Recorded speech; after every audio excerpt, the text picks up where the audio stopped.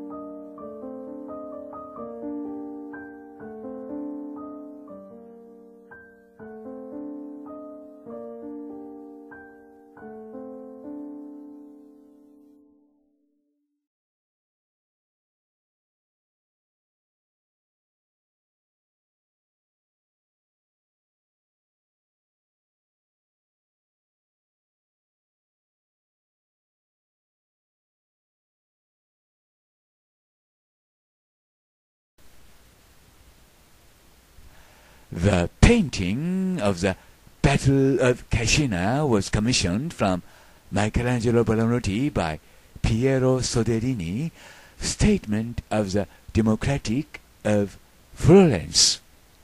It was intended to wall the Salon de Cinquecento in Palazzo Vecchio.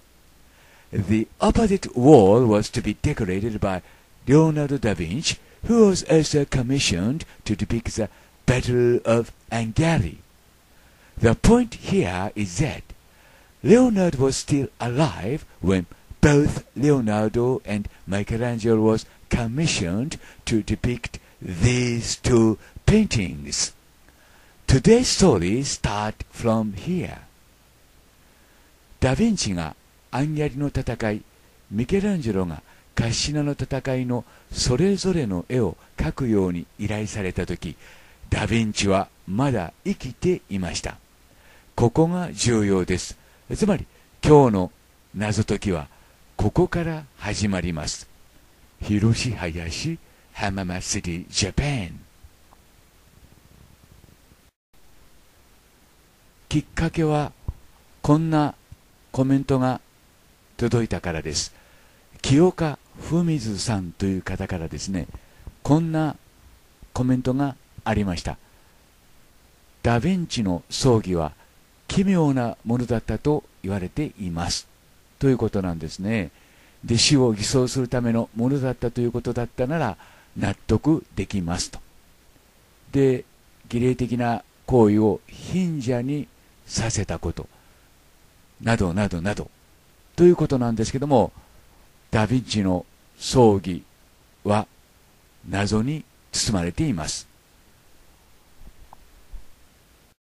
そこで私の方でも調べてみました。これはディスカバリングフランスという公式のホームページと考えて良いわけですけども、このホームページの中でもその謎について述べています。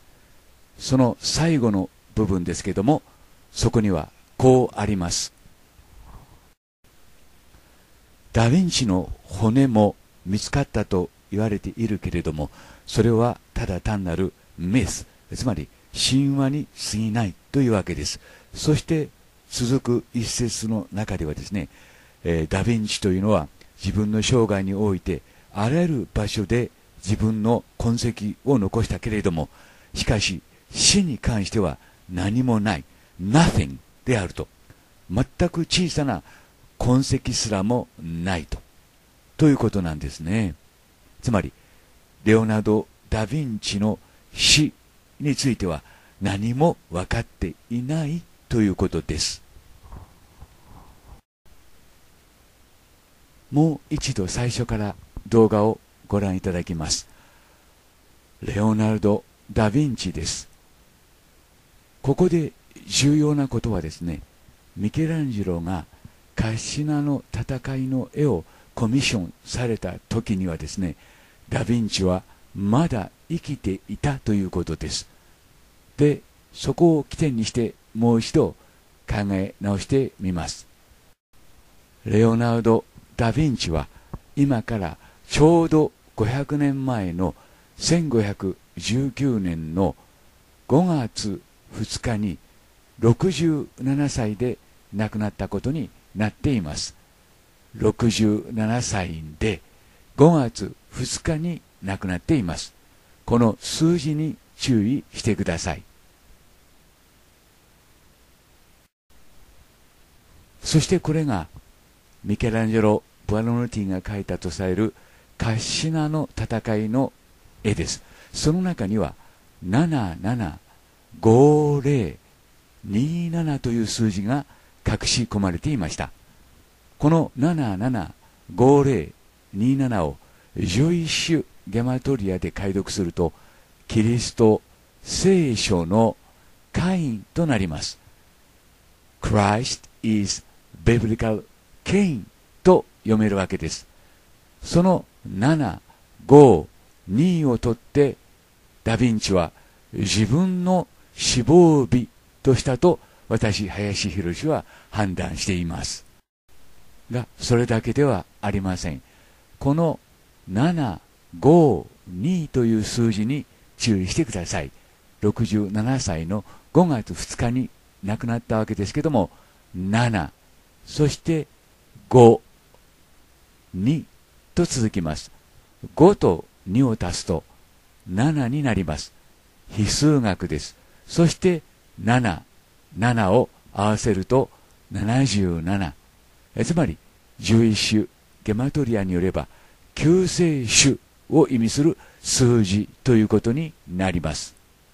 が、さらに謎が続きます。その死亡年である1519年に注意してください。1、5、1、9と数字が並んでいます。そしてこれら4つの数字を足すと16になります。16というのはカバラの非数学においては大変重要な意味を持つ数字です。16イコール1たす6は7となります。ここでも7が出てきます。例えば、曜日が日月火水木金土1プラス6の比数学で成り立っているのもその一例ということになりますがこのように見ていくとつまりダ・ヴィンチの死亡年月日は計算され尽くしているということになるのではないでしょうか。ということで続く動画の中でさらに詳しくそれについて考えてみたいと思います。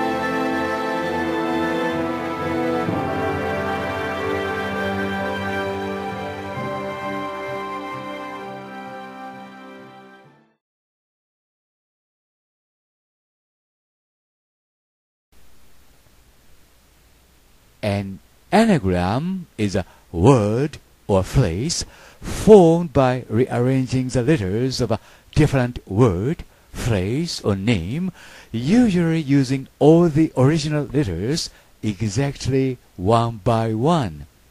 For example, the name of Leonardo da Vinci was a concocted name by rearranging the name Andrea del Verrocchio, who was a teacher for Leonardo.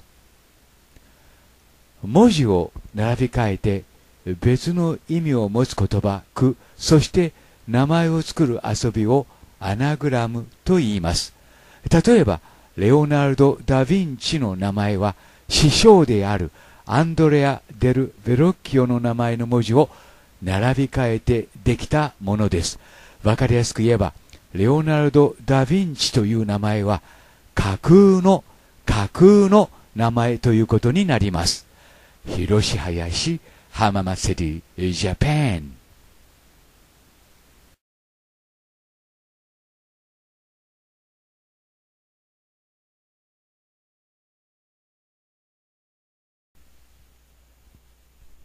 Here in this video, you see two self-portraits of Leonardo da Vinci.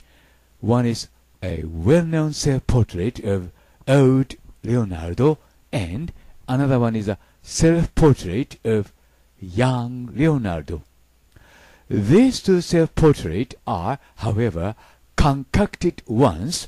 One was created on a very high technology of graphic software and another one was created after Luca Signorelli with a big nose and thick mustache.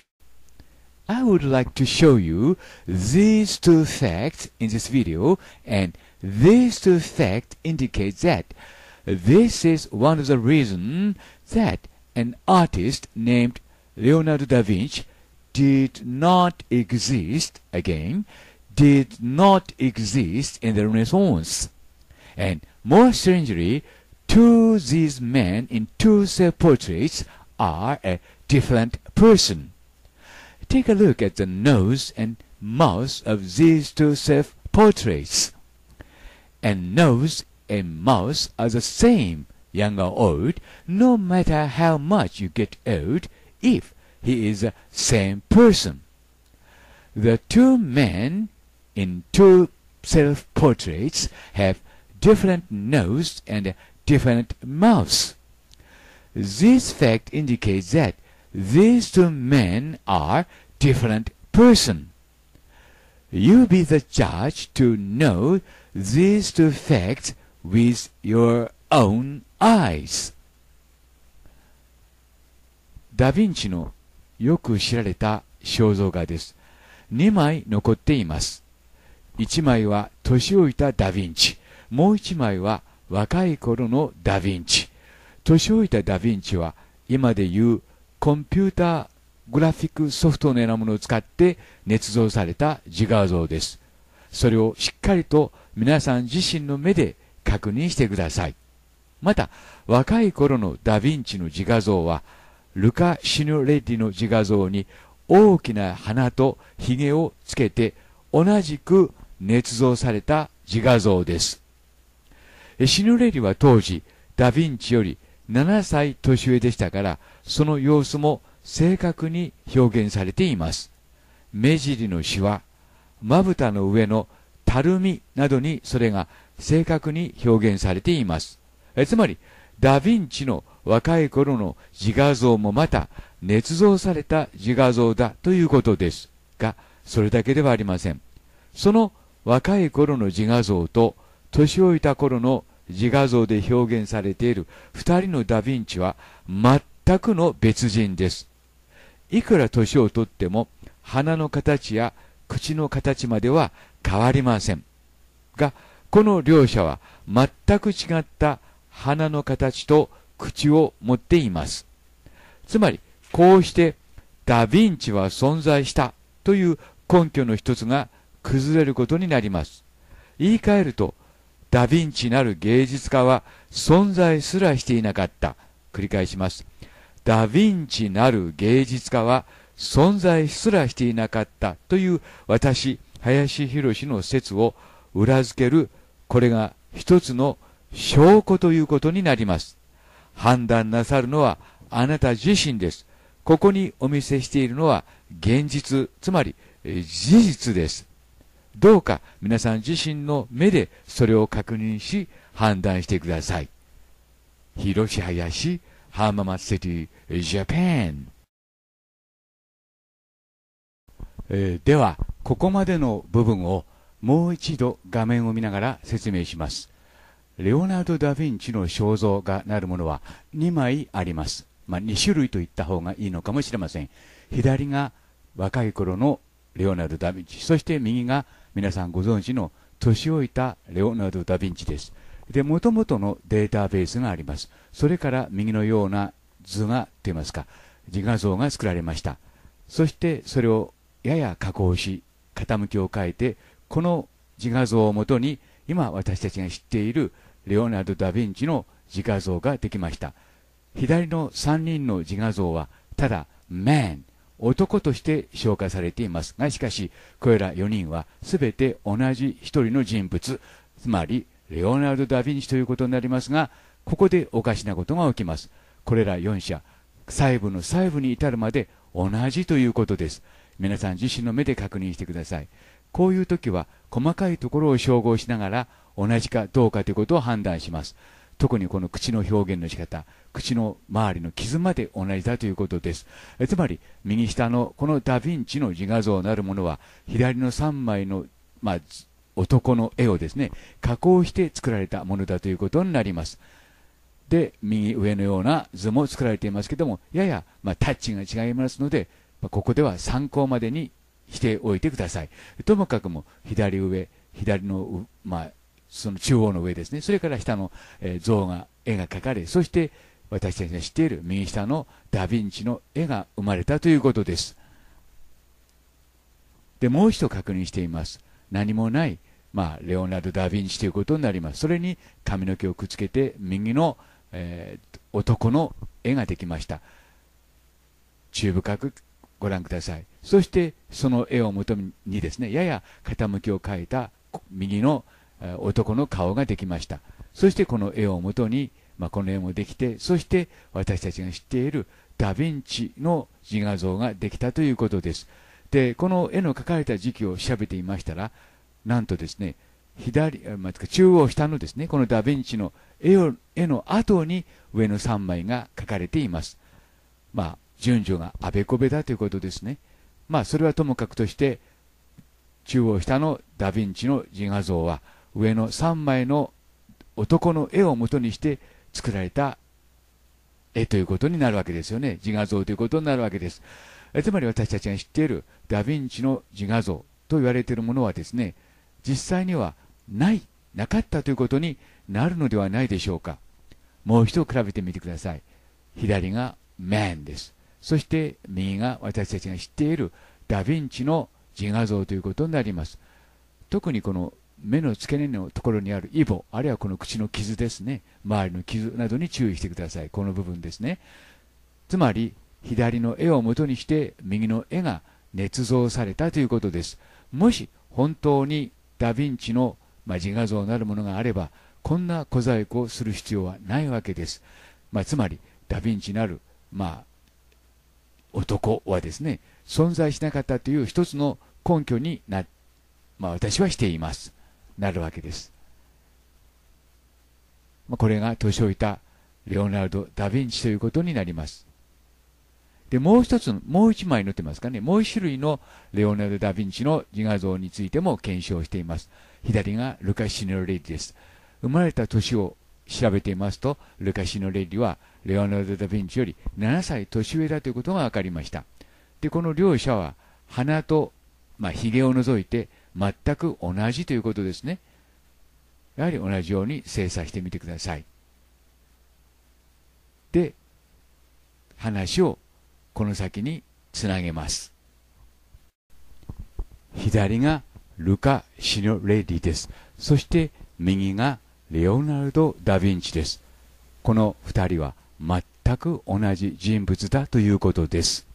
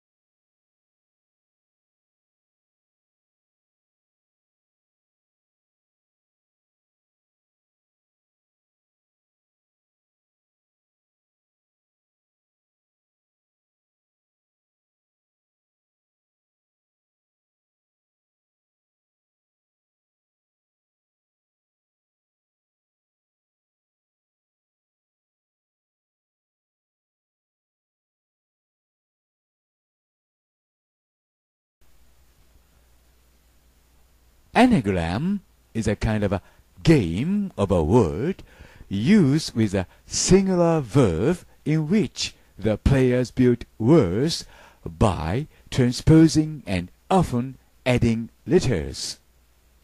In the usual case, it is a game of phrase or sentence being formed from another by rearranging its letters. For example, angel A-N-G-E-L is an anagram of green G-L-E-A-N. Then I, Hiroshi Hayashi, have discovered that the name of Leonard was created by rearranging the name after another great artist in the Renaissance, Donatello, and Leonardo da Vinci was also created by rearranging the name after Andrea del Verrocchio, the teacher of Leonardo in his days. This fact indicates that the name of Leonardo da Vinci was concocted after Donatello and Andrea del Verrocchio as a game of word by rearranging these two names for fun. This is another evidence that indicates that the artist named Leonardo da Vinci did not even exist again. Leonardo da Vinci did not even exist or a concocted artist in the Renaissance. Here in this video, you see the fact. 皆さんはアナグラムというのをご存知ですか言うなれば言葉の遊びあるいはゲームのようなものです。つまり一つの名前や言葉の文字を並び替えて別の名前や言葉を作るゲームのことを言います。欧米では広く使われている言葉のゲームです。例えば林博士を並び替えると橋は白やとちょっと厳しいかなというところですがあのレオナルド・ダ・ヴィンチという名前もまたそのアナグラムによって捏造された名前でした。ルネッサンスの時代にもう一人のダ・ヴィンチと評価されていたドナッテロ。そしてダ・ヴィンチの師匠と位置づけられていたアンドレア・デル・ベロッキオ。そのドナッテロとアンドレア・デル・ベロッキオの名前をアナグラムによって捏造された名前がレオナルド・ダ・ヴィンチということになりますえつまりアナグラムという言葉のゲームによってできた名前ということになります言い換えるとそもそもレオナルド・ダ・ヴィンチという名前の芸術家は存在すらしていなかったというこれもまたその傍証の一つということになります。繰り返します。そもそも、レオナルド・ダ・ヴィンチという名前の芸術家は、存在すらしていなかったという、これもまた、その傍証の一つということになります。広島林浜祭りジャパンではもう一度画面を見ながら最初から説明します。アナグラムというのは要するに言葉の遊びということですね。欧米ではスクラブルというゲームもあります。えー、文字を並べてですね、文字といいますか、アルファベットを並べて意味のある言葉を作るゲームです。そのゲームの一つとして、例えばね、アンドレア・デル・ベロッキオ、上がアンドレア・デル・ベロッキオです。その文字を並び替えてできたのがレオナルド・ダ・ヴィンチということになります。アンドレア・デル・ベロッキオというのは、レオナルド・ダ・ヴィンチの先生と言われています。まあ、レオナルド・ダ・ヴィンチは、最初はアンドレア・デル・ベロッキオのもとで絵を習ったと言われています。そのアンドレア・デル・ベロッキオ、上の名前ですね、の文字を並び替えてできたのが、レオナルド・ダ・ヴィンチということです。右から3文字目の H だけを除いて、あとは同じです。偶然の位置とはとても考えられません。で、上がアンドレア・デル・ベロッキオです。下の緑がダ・ヴィンチです。そしてそのベロッキオとダ・ヴィンチの合作がこのイエスの洗礼と言われている絵です。まあ、それはともかくも、では、誰の方が、どちらの方が先に生まれていたか、つまり、ボスかということになりますと、アンドレア・デル・ベロッキョの後にルカ・シノリリが生まれ、そしてその後にレオナルド・ダ・ヴィンチが生まれているのがわかります。つまり、この3人の中では、一応、アンドレア・デル・ベロッキョが一番の親分ということになるわけです。そのアンドレア・デル・ベロッキョの描いた絵が、このセント・ジェロームの絵です。これは絵というよりも写真です。そして同じセント・ジェロームをダ・ヴィンチも描いています。これは、この絵はですね、感染まで、汗の穴まで丁寧に描かれています。左がベロッキオの作品、右がダ・ヴィンチの作品ということになります。この両者は細部に至るまで同じということですね。やや傾きが違いますが、注意深く比較してみてください。まあ、もともとの師匠、つまり1500年後のイエスがこの上にいるわけですから、まあ、ペロッキョの描いた絵も、ダ・ヴィンチの描いた絵も同じになったと言われとしてもですね、なんだおかしくないということになるのではないでしょうか。まあ、ともかくも、ここで大切なことはですね、アンドレア・デル・ベロッキオという名前の文字を入れ替えてできた名前がレオナルド・ダ・ヴィンチだということです。このように文字が、まあ、90%一致するということは、まあ、確率確率論的にもありえないことだということです。繰り返しになりますけども、アンドレア・デル・ベロッキオをですね、アナグラムによって、まあ、文字を並び替えてできた名前がレオナルド・ダ・ヴィンチということになるわけです。つまり、レオナルド・ダ・ヴィンチという名前の芸術家はそもそも捏造された芸術家だという、まあ、一つのこれも傍証になるということです。今ご覧いただいているのがペータ像です。ミケランジェロ・バラノティが彫刻したと言われてますけど、この腕に注意してください。向かって左側のイエスの右腕に注意してください。ボコボコと人間にはないようなコブが表現されています。では話を元に戻します。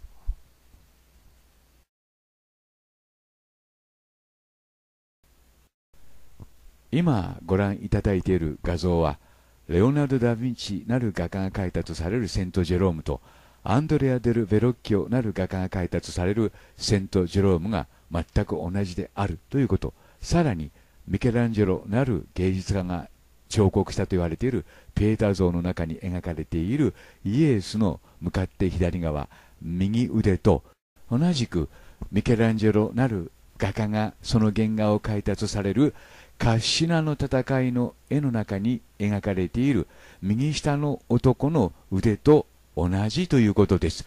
つまり、ペーター像の彫刻の中に表現されているのがイエス・キリストということになっていますから、カッシナの戦いの絵の中に描かれている右下の男もイエス・キリストということになります。それをこの今ご覧いただいている動画の中で証明しています。が、それだけではありません。さらに、今ご覧いただいている右側の人物は、これはレオナルド・ダ・ヴィンチなる画家が開拓される男です。そしてその男とカッシナの絵の戦いの絵の中に描かれている右下の男とは顔が一致します。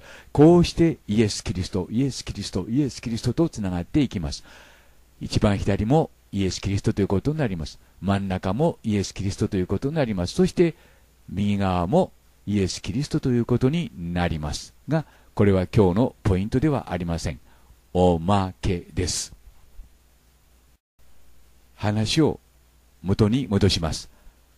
アンドレア・デル・ベロッキオの名前をアナグラム、つまり言葉の遊びによってできた名前がレオナルド・ダ・ヴィンチということになりますが、さらに謎が続きます。それがドナッテロです。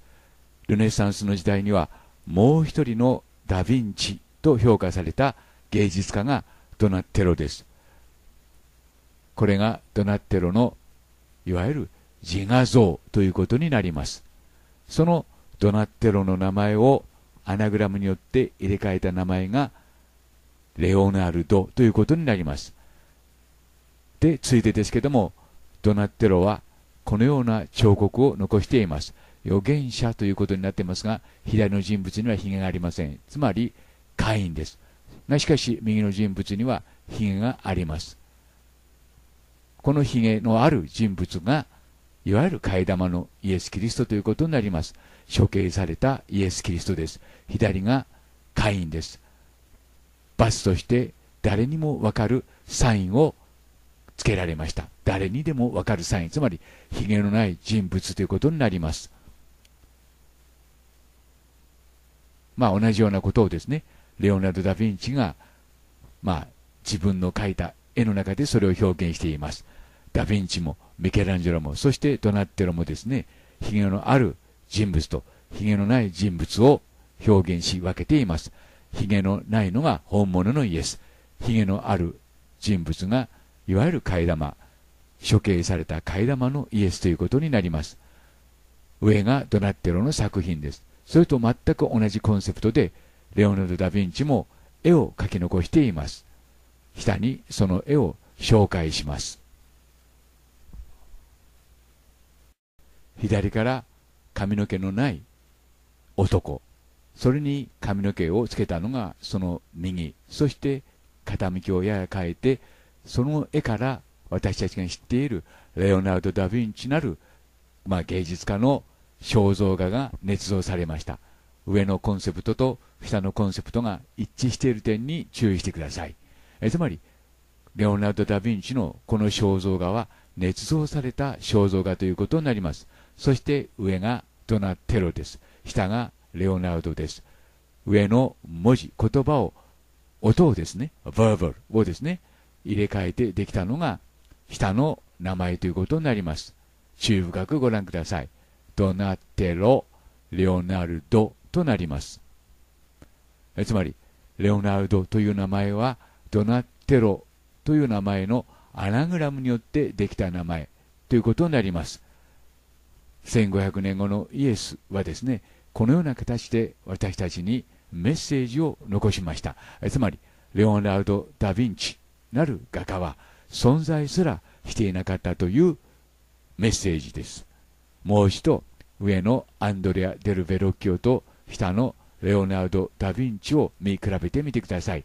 アンドレア・デル・ベロッキオをアナグラムによって作り変えてできた名前がレオナルド・ダ・ヴィンチということになります。偶然の一致ではありえない一致ということになります。つまり、レオナルド・ダ・ヴィンチという名前すらも捏造された名前ということになります。つまり、レオナルド・ダ・ヴィンチなる芸術家は存在すらしていなかったという、これも一つの大きな傍聴ということになります。Bye for now.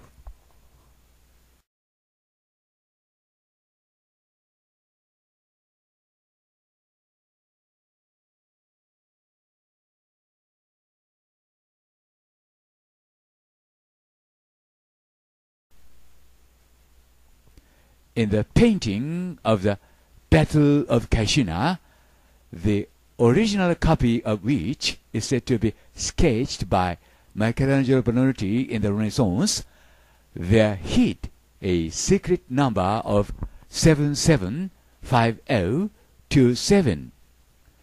The number of 775027 can be read in Jewish gematria, meaning 77 stands for Christ, 50 for biblical, and 27 for Cain in the Old Testament. When Michelangelo finished this sketch in 1504, again 1504, Leonardo was still alive, being commissioned together with Michelangelo Buonarroti for the Battle of Angari. This is a very important part of this video to say that Leonardo was still alive in 1504. And then we also know that Leonardo da Vinci passed away on May the 7th or 7th day of the fifth month of the year at the age of 67. This indicates that his this date was concocted in advance before he died on the second day of the fifth month at the age of 67, according to the number of 775027 in the Battle of Kashina. Is this just a coincidence or calculated in advance? Or was his death date was also concocted in advance to his real death, corresponding to the number of 775027. You be the judge. ミケランジェロ・ブラノティが描いたとされるカッシュナの戦いの絵の中に7750 27という数字が隠し込まれていました。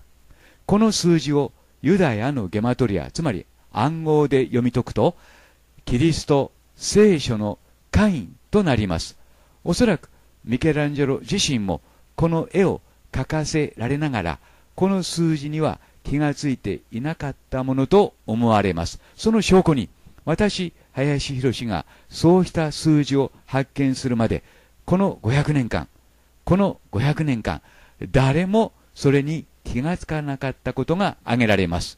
それはともかくも、この775027の数字の中から、ダヴィンチなる芸術家は、752という数字を抜き出し、あらかじめ自分の死亡日としたと私、林博は判断しています。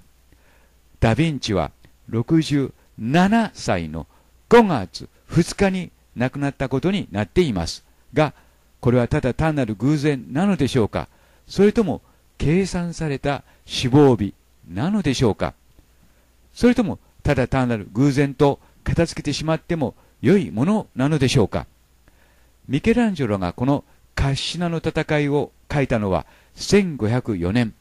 この時まだダヴィンチは生きていて、同時にあのアンギャリの戦いの絵を書き残しています。ここが重要です。まだその時、ダヴィンチは生きていました。言い換えると、ダヴィンチは自分の死亡日をあらかじめ決めていたということになる。つまり、ダヴィンチはその日には死んでいなかったことになるのです。えつまり、ダヴィンチの死亡日はあらかじめ決められていた。イコール、彼の死亡日も捏造されていたということになります。広し林浜祭りジャパンではもう一度最初から今度は画面を見ながら説明します。ダ・ヴィンチの死亡日はあらかじめ予定されていた。つまりダ・ヴィンチの死亡日もですね捏造された死亡日であったということです。これはミケランジェロ・ブラノティの描いたカシナの戦いの絵です。この絵の中には775027という数字が一文字つまり隠し文字の形で隠されていました。倍林博発見です。そして77は Christ 50はビブリカル。そして27はケインという意味です。11種ゲマトリアによる暗号です。つまりキリストは聖書でいうところのカインであるという意味になります。ゲマトリアというのはですねつまりは暗号のようなものと考えていただいて結構です。もう一度繰り返します。77はクライストキリストです。50はベブレカル。そして27はケイン。つまりカインという意味です。ですから775027をつなげますとキリストは聖書でいうところのカインであるという意味になります。それはともかくもこのカシナの戦いの絵の中に仕込まれていた数字775027の中から752を抜き出してダ・ヴィンチは自分の死亡日としたということです。これは偶然ではありえないということですね。つまりダ・ヴィンチは67歳の5月2日には死んではいなかったということになります。なおこのカシナの戦いが描かれた時にはですねまだダ・ヴィンチは生きていました。カシナの戦いをコミッションされた時にはですね同時にダ・ヴィンチはアンギャリの戦いの絵をコミッションされています。つまり書くのを依頼されています。ということは繰り返しになりますけどもダ・ヴィンチは67歳の5月2日には死んでいないということになります。つまり繰り返しになりますけどもダ・ヴィンチはこのミケランジェロの描いたカシナの戦いの絵の中から752という数字を描いてあらかじめ自分の死亡日としたということになります。言い換えるとダ・ヴィンチはその日には死んでいないということになるのではないでしょうか、まあ、このような形でですね1500年後のイエスは私たちに、まあ、未来の私たちにですねメッセージを残したということになります、まあ、一般にはですね、えダ・ヴィンチは1519年の5月2日に亡くなったということになっています。がその死亡日もですねあらかじめ予定されていたイコール捏造された死亡日であったということになります、まあ、このように考えていくとですねレオナルド・ダ・ヴィンチという、まあ、芸術家が存在したという証拠が全てなくなってしまったということになります。名前も捏造されていた。自画像も捏造されていた。ということになるなるわけです。もし本当に存在したのであれば自画像を捏造する必要もないし名前も捏造する必要はないしそして死亡日も捏造する必要はないということです。裏を返している言うとですねダ・ヴィンチなる、まあ、芸術家は存在しなかったということになるわけです。もう一度ここで確認しておいてください。レオナルド・ダ・ヴィンチは67歳の5月つまり 5, 5番目の月の2日に亡くなった亡くなっています。その752の数字はミケランジェロの書いたカシナの戦いの絵の中の数字を抜き出したということになります。では話を戻します。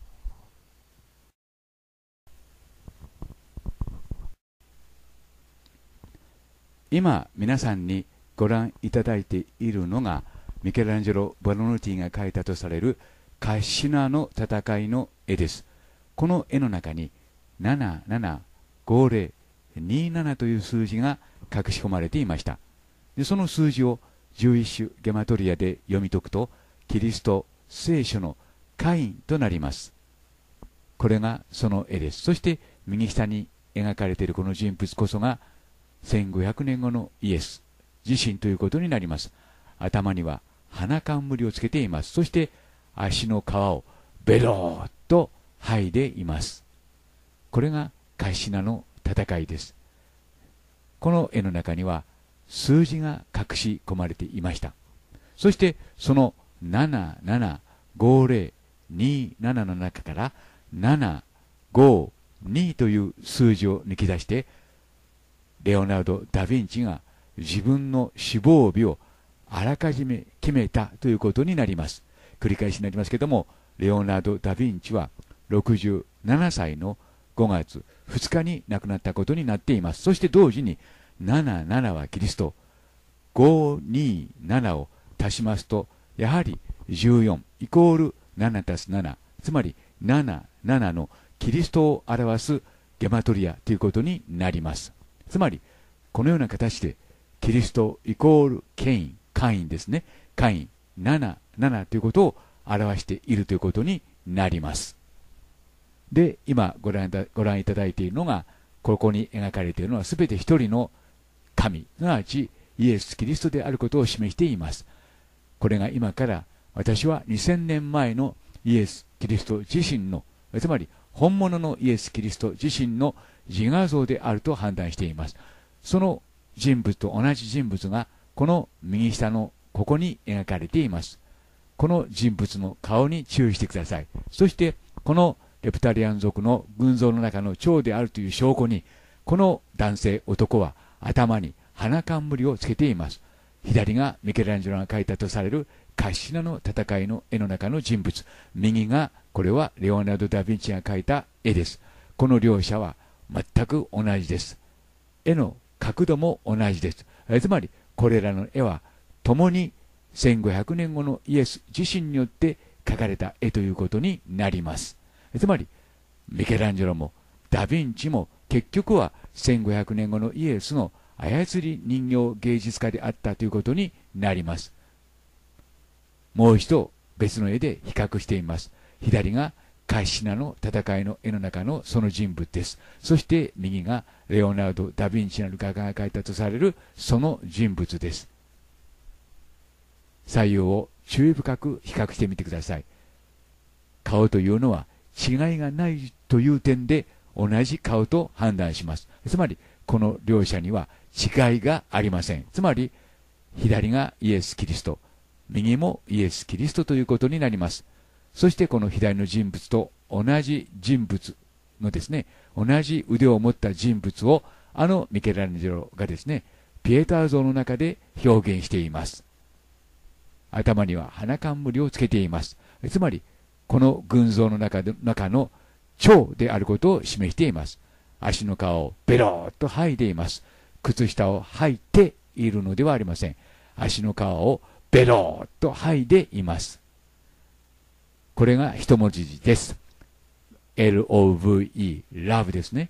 まあ、こういう形で同じように、この頭の絵の絵の中に、7、5、0、2という数字を書き込みました。左右に7、7という数字が隠し込まれていますが、この7、5、0、2をという数字を抜き出して、レオナルド・ダ・ヴィンチはあらかじめ自分の死亡日としたということになります。繰り返しになりますけども、ミケランジェロ・ブラノルティがこの絵を描いた時には、まだダ・ヴィンチは生きていました。つまり、ダ・ヴィンチは67歳の5月2日に死んだことにしたわけです。7、そして502を足すと、やはり7になります。7、7イコールキリストということになります。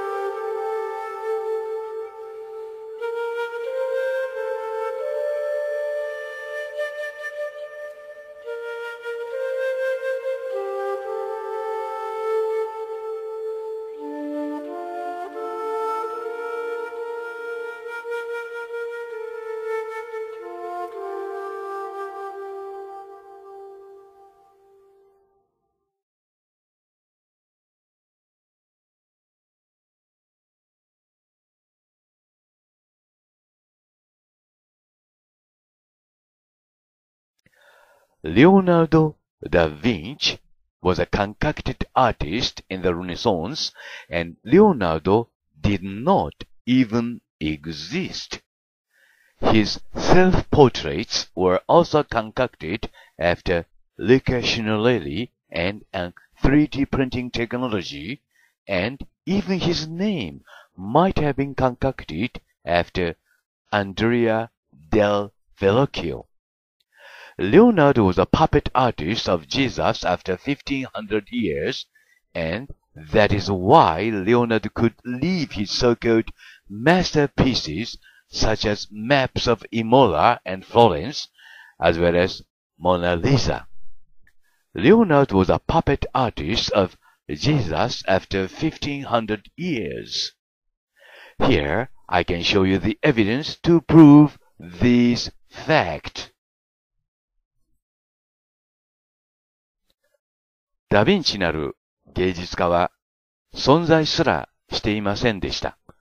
言うなれば、1500年後のイエスのただの操り人形。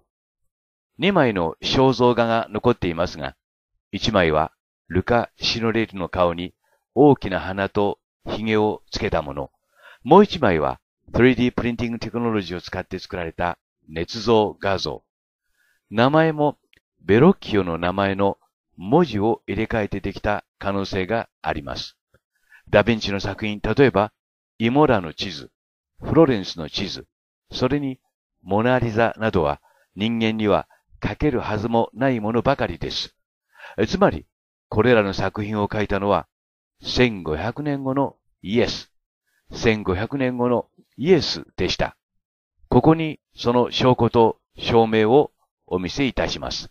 広し林、浜松シティ、ジャパン。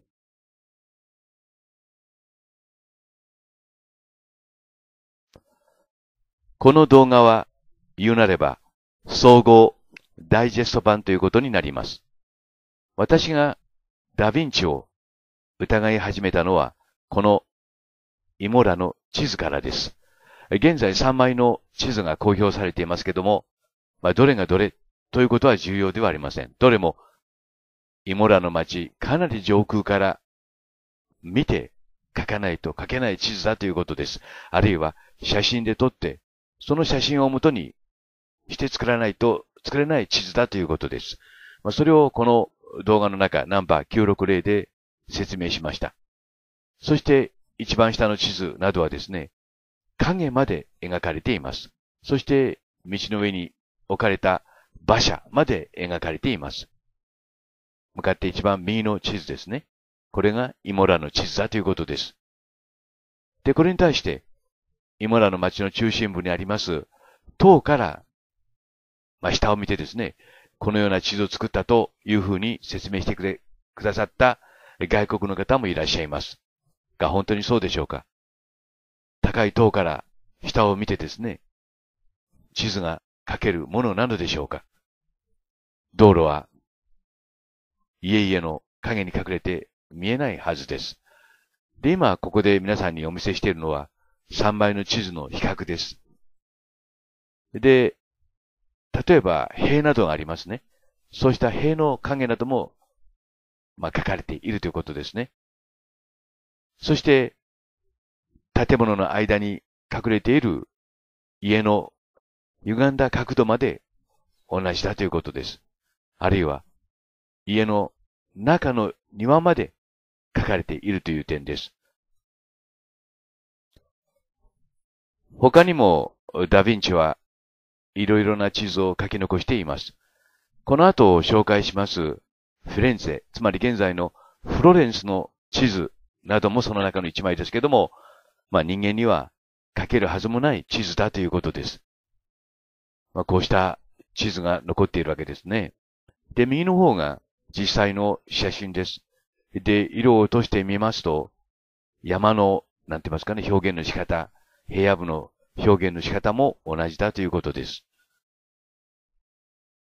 で、これがイモラの、現在のイモラの地図です。で、私もこうして真似て作ってみたんですけどもね、下がダヴィンチが500年前に描いた地図です。道などは当時と比べてですね、現在は直線的になっているようですね。で、こう比較してみますと、細かいって言いますか、路地などは昔のままだということです。で、ここに点々がありますね、下の方にね。これはあの、馬車かと思われます。そうしたものまで、下の、まあ、なんて言いますか、ダヴィンチの書いたイモラの地図には書いてあるということです。で、この辺が、まあ、空き地になっているのはおそらく火事か何かで木が、まあ、家がなくなったか、そして木も表現されてますね。そしてこの建物の間の中に、中のこの建物、やや歪んでますね。平行じゃありませんね。こうしたところも正確に描いてあるということです。で、この部分を外から見ても見えないということです。なわち、ダヴィンチは人間には描けるはずもない地図を描いていたということになります。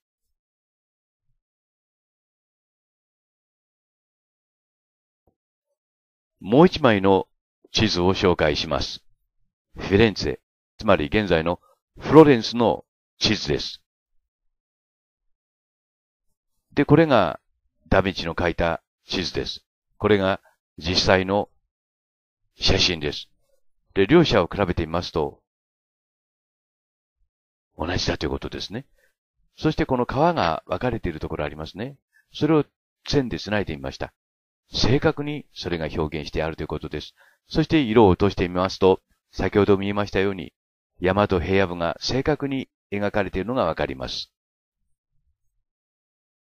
上がダヴィンチの描いた地図です。下が実際の写真です。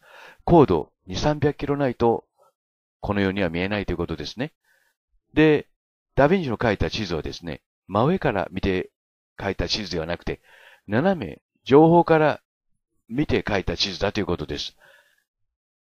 で、当時は交通事情も悪かったのでしょうけども、こうした地図が残っているということです。つまり人間には書けるはずもない地図だということです。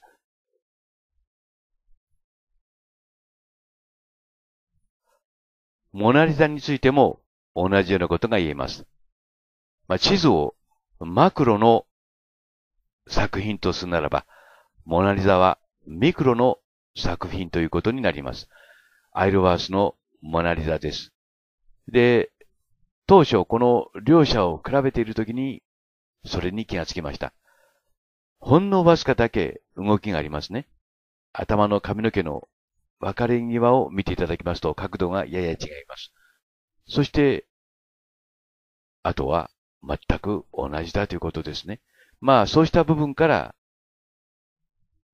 まあ私はですね、これらが写真技術を使って作られた絵であるというふうに判断しました。上は板の上に書かれています。下はキャンバスの上に書かれています。ですから、風合いがやや違いますが、同じだということです。で、モナリザの特に襟の部分ですね。その襟の部分には1ミリの半分、1ミリの半分ですよ。0.5ミリ、もしくは0.3ミリの線が書かれています。そしてその線は複雑に交差し、そしてその線には影まで付けられています。筆で書いたのではなくて、細かい筆で、点々点々点と点をつけて書いたと言われています。つまり現在の私たちが使っているプリンター方式だということですね。で、皆さんも一度してみてください。1ミリの半分のラインで交差して、そしてそれに影までつけることができるかと。私は何度もやってみましたが、ほんの一部でも私にはできませんでした。というようなことから、このモナリザは人間によって少なくとも筆のようなものを使って書かれたものでないと判断しました。左がモナリザです。右がアイルワースのモナリザです。明暗を書いてあるだけで全く同じなんですね。すなわち、右の方は明度を上げたために、まあ、細かい細い線が消えています。が、よく見ると同じだということですね。まあ、下に私の顔って言いますか、イラストを並べておきましたけども、左の写真の明度を落としたのが、右のアイルワースのモナリザだということです。まあ、そこに気がついたときに、私は、これらの絵はですね、人間の手によって描かれたものではないと判断しました。この襟の部分ですね。で、この上のモナリザの方ですね。は、今も言いましたように、1ミリの半分、あるいは3分の1の太さのラインで書かれています。この部分なんかはもう0.3ミリないと思いますよ。そしてよく見ていただくとわかりますように線が交差してますね。そしてその線を拡大してみますと、なんとその線には陰影までつけてあるということです。まあ、モナリザって言いますと大きな絵のように思っていらっしゃる方も多いかと思いますけども、小さな絵なんですね。私もこんなに小さい絵だとは思っていませんでした。で、このラインの大きさを知るために、こうして分割していって、太さを計算してみました。そうした作業も1526の方でしてみました。このラインですね。で、この黄色い枠が 1.5×1.5 ミリですよ。センチではなくてミリですよ。そしてその幅は、太く見ても0.5ミリ、あるいは0.3ミリかもしれません。ともかくもそんな幅の線で、こうした絵が描かれているということです。そしてですね、大変よく似てるとはいえ、よく見ると、ギリシャ彫刻って私が発見したように、ほんのわずかだけ動きがあるのですね。この部分にそれが現れています。つまり、やや時間差を置いてデータを取られているということです。ここまで似せて作られていながら、書かれていながら、しかし動きがあるということですね。で、やはり同じように念のためにこう喋ってみました。今の線の太さが0.5ミリです。で、まあ、0.5ミリないかもしれませんね。これ、あの、黄色いのが 1.5×1.5 ミリですからね。さらに下の細い線はもっと細いですからね。で、0.3ミリという数字が出てきました。そしてここを見てください。0.3ミリの線でですね、その線が交差し、そして陰影までつけてあります。つまり、書けるか書けないかということは、あなた自身の問題として考えていただければ、その答えが出てくるのではないでしょうか。ただ、モナリザと右のアイル、アイルワースのモナリザとではやや模様の、模様が違うようです。明度を上げてアイルワースのモナリザを作ったということになります。